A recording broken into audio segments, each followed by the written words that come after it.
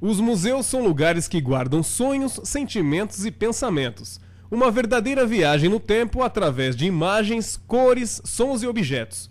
O Museu Carlota Pereira da Silva, localizado na Praça Tito Carlos Pereira, é um lugar que conta a história de Carmo do Rio Claro através de seu rico acervo. Quem se lembra do Cine Guarani que pegou fogo em 1928? O projetor dos filmes está lá, além de rádios antigos, instrumentos musicais, um telefone do início do século e até um gramofone, um aparelho musical que pouca gente conhece. Criado pelo médico e artista plástico Edgar Pereira da Silva, o museu é uma entidade sem fins lucrativos a serviço dos carmelitanos e procura resgatar a memória da cidade e de sua própria família. São dois andares com centenas de objetos bastante diferentes. O museu tem o teto pintado pelo próprio Edgar.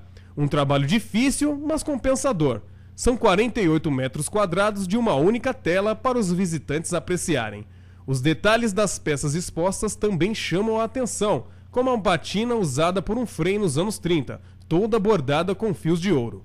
No andar de baixo, a cozinha da Dona Carlota mostra os detalhes avermelhados e os antigos objetos de uma cozinha no início dos anos 30. Uma das peças curiosas aqui do museu é essa geladeira aqui dos anos 30. Ela é feita de madeira. Funcionava da seguinte forma: a pessoa colocava gelo e serragem aqui por cima e aqui embaixo a pessoa colocava o alimento.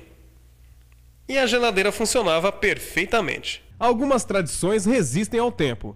É o caso das cadernetas, utilizadas pelos comerciantes até hoje para anotar as compras dos clientes que deixam para pagar depois. Aqui no museu a gente encontra diversas peças curiosas. Outra que a gente encontrou aqui foi essa caderneta, onde as pessoas marcavam as coisas que elas compravam e o preço que elas custavam. Isso no ano de 1929. E quem não se lembra da antiga igreja matriz de Carmo do Rio Claro? Nos fundos do museu, uma réplica foi construída por Edgar e batizada de Capela de Nossa Senhora da Conceição das Águas de Furnas. O interior foi todo concebido pelo artista plástico, que utilizou madeiras nobres e gesso para compor o altar. A riqueza dos detalhes da capela impressionam.